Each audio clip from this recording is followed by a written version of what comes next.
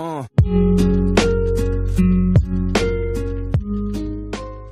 네, 드디어 소프트웨어 파트를 들어가도록 하겠습니다. 소프트웨어는 저장 장치에 저장된 특정 목적의 하나 또는 다수의 컴퓨터 프로그램을 의미합니다. 종류는 프로그램, 플랫폼, 응용 소프트웨어가 있습니다.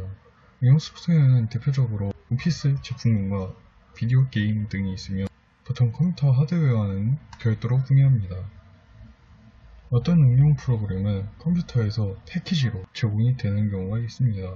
독립적인 응용 프로그램으로 수행된다는 점에서 차이는 없습니다. 응용 소프트웨어는 사람들이 일반적으로 소프트웨어라고 생각하는 것이라고 생각하시면 됩니다. 플랫폼 소프트웨어는 메인보드에 올라가 있는 펌웨어라고 보시면 됩니다. 장치 드라이버, 응용체제, 그리고 대표적으로 GUI 등을 총체적으로 포함하는 것입니다. 응용 소프트웨어처럼 패키지로 제공이 됩니다. 컴퓨터와 주변 기기가 서로 소통할 수 있게끔 해주는 역할을 수행합니다. 아래 사진 보시면 컴퓨터가 동작하는 각 부분을 나타낸 차트라고 보시면 됩니다.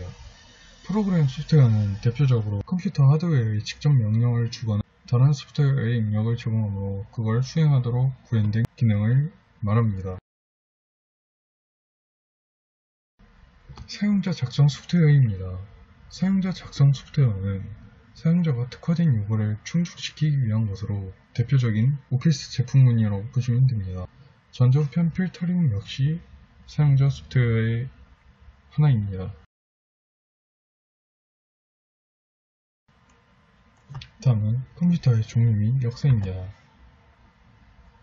역사는 1세대, 2세대, 3세대, 4세대로 각각 기억을 하시면 됩니다. 대표적으로 1세대는 진공관, 2세대는 트랜지스터, 3세대 집적회로, 4세대 고밀도 집적회로, 5세대 이후는 초고밀 집적회로로 1세대는 기계어, 2세대는 포트란, 3세대는 파스칼, 4세대는 C, 5세대는 자바로 기억을 하시면 되고 1세대는 하드웨어 개발, 2세대는 보급 언어, 3세대는 입력장치, 4세대는 마이크로 프로세서, 5세대는 인공지능이라고 보시면 됩니다. 이 부분에서 말하는 종류는 처리 능력에 따른 분류입니다. 슈퍼컴퓨터, 메인프레임, 미니컴퓨터, 마이크로 컴퓨터가 있으며 참고 바랍니다. 운영체제의 역할 및 종류입니다. 운영체제의 역할은 프로세스 관리, 기억장치 관리, 입출력장치 관리, 자원관리가 있습니다. 프로세스 관리는 여러 개의 프로세스가 충돌하 원활하게 수행하도록 관리하는 역할을 합니다. 프로세스 간의 동기화, 생성 및 제거, 중지와 시작 등을 수행합니다. 기억장치 관리입니다.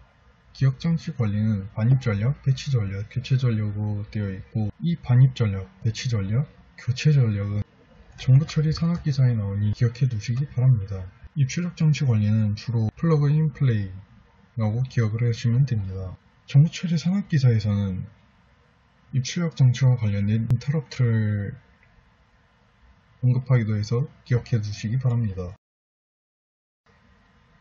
저항관리입니다. 저항관리는 주로 파일 시스템, 디스크 관리 기능이라고 기억해 두시면 됩니다. 윈도우에 대해 설명하도록 하겠습니다.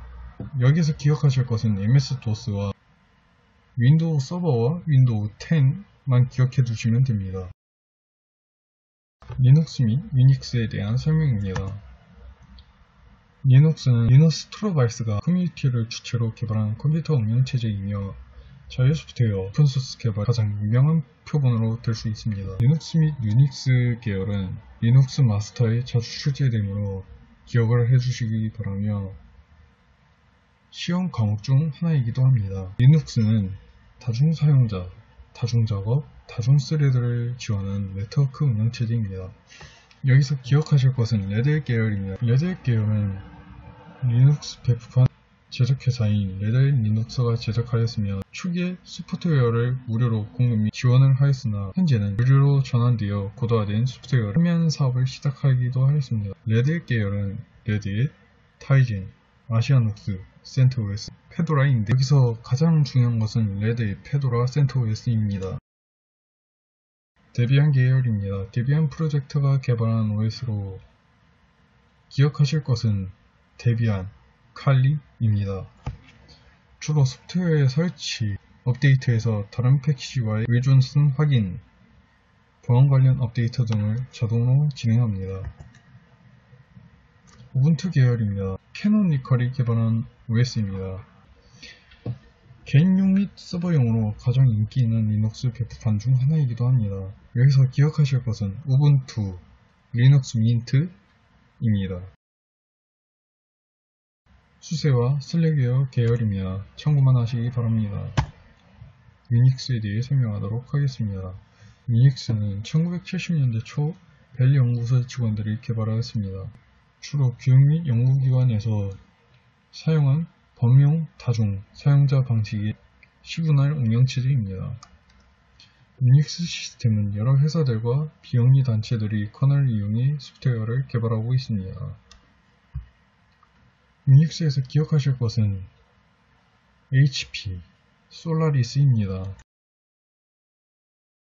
프로토콜 및 통신교육 파트입니다. OSI 7layer 및 TCP/IP 4layer 등에 대해 설명하도록 하겠습니다. 프로토콜은 일명 규칙이라고 기억만 하시면 됩니다. TCP/IP 프로토콜 OSI 7 layer보다 먼저 개발되었습니다. 하지만 이 TCP/IP 프로토콜 계층은 OSI 7 layer와 정확하게 일치하지는 않습니다. 이 두 계층을 비교하면 세션과 표현 두 계층이 TCP/IP 프로토콜 그룹에 없다는 것을 알 수 있으며 두 모델 모두 계층형이라는 공통 갖고 있으나 TCP/IP는 인터넷 개발 이후 표준화가 되어 신뢰성이 우수합니다. 하지만 OSI 7 레이어의 경우 표준화가 되긴 하였으나 실제적으로 구현된 예가 없어 신뢰성이 떨어집니다. 하지만 이 OSI 7 layer의 경우는 장비 개발 및 통신 자체를 어떻게 표준으로 잡을지로 사용하고 있습니다. 실질적인 통신 자체는 TCP/IP 프로토콜을 사용합니다. OSI 7 layer 중 7계층과 6계층에 대해 하겠습니다.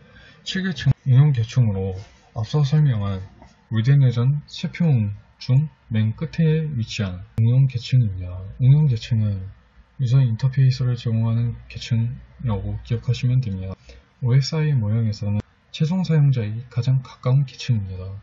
이 응용 계층에서 작동하는 응용 프로그램은 사용자가 직접적으로 상호작용하며 대표적인 예시가 구글 크롬, 파이어폭스, 사파리 등을 들 수 있습니다. 이 응용 계층에서의 전송 단위는 메시지입니다. 다음으로 6계층, 표현 계층에 대해 설명하도록 하겠습니다. 표현 계층은 데이터의 변환 작업을 하는 계층입니다. 표현 계층은 응용 계층의 데이터 표현에서 독립적인 부분을 나타냅니다. 데이터 표현에 차이가 있는 응용 처리에서 제어 구조를 제공하며 전송한 데이터의 인코딩, 디코딩, 암호화, 코드 변환을 수행하며 응용 계층과 마찬가지로 전송 단위는 메시지입니다. 다음은 5계층이 세션 계층이며 응용 프로그램 간의 연결을 지원해주는 계층으로 두 대의 기기, 컴퓨터 또는 서버 간의 대화가 필요한 세션을 만드는 작업을 합니다. NetBIOS, SSH, 즉 CQSL이죠. AppleTalk가 있으며 연결 세션에서 데이터 교환, 에러 발생 시 복구 관리를 수행합니다. 전송 단위는 마찬가지로 메시지입니다. 다음은 4계층인 전송계층입니다. 전송계층은 서비스를 구분하고 데이터의 전송 방식을 담당하는 계층입니다. 대표적으로 TCP, UDP가 있습니다. 전송계층은 최종 시스템 및 호스트 데이터 전송을 담당하며 보낼 데이터의 용량과 속도, 목적지 등을 처리합니다.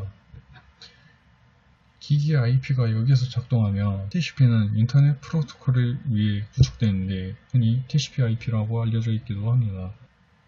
종당 간의 신뢰성이 있고 정확한 데이터 전송을 담당하며 전송 단위는 세그먼트입니다. 주로 4계층 장비인 F 스위치가 있습니다.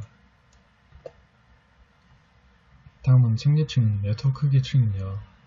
네트워크 계층은 네트워크를 논리적으로 구분하고 연결하는 계층입니다. 3계층 장비는 L3 스위치, 라우터가 있으며 전송 단위는 패킷이고 이 네트워크 계층 수행하는 것은 중계 노드를 통해 전송하는 경우 어떻게 중계될 것인가를 주장하는 역할을 수행합니다. 쉽게 설명해 데이터를 목적지까지 가장 안전하고 빠르게 전달하는 routing 역할을 수행한다고 기억하시면 됩니다. 한마디로 네트워크 계층은 라우터라고 기억하시면 됩니다. 다음으로 이 계층에 대한 설명입니다. 이 계층은 데이터 링크의 계층에 대해 설명하도록 하겠습니다. 데이터 링크 계층은 물리적 매체의 패킷 데이터를 실어 보내는 계층이며 환경에 맞는 다양한 통신 프로토콜을 지원합니다. 데이터 링크 계층은 노등한 데이터 전송을 제공하며 분리 계층의 오류도 처리합니다. 여기서 두 개의 부계층이 존재하는데 하나는 매체 접근 제어, 일명 맥 계층이고 다른 하나는 논리적 연결 제어인 LLC 계층이라고 기억하시면 됩니다. 그냥 맥과 LLC라고 기억하시면 됩니다.